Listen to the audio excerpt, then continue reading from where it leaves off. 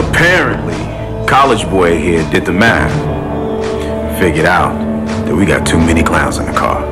So one of us is in here digging, but his seat ain't guaranteed. How's this your problem, then? He doesn't know what he's talking about. I'm not gonna dig if I'm not gonna go. We need to make a decision on who gets cut. Well, I think we all can agree that should be right.